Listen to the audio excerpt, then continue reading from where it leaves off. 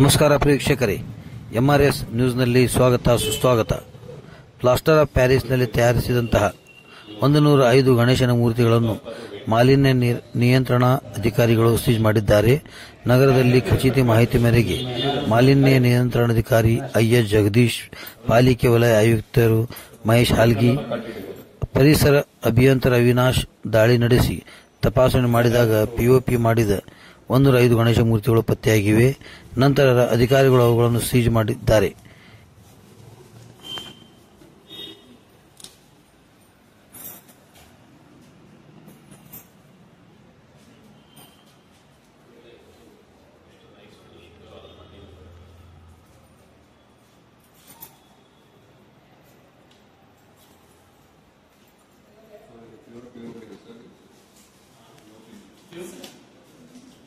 together on a good one, several way in the statement.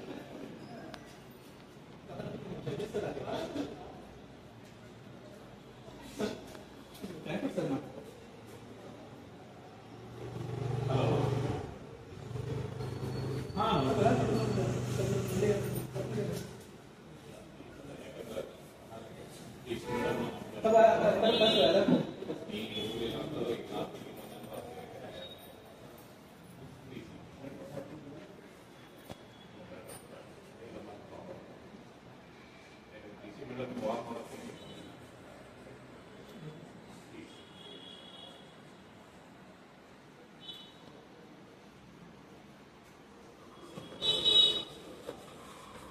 def moo doon.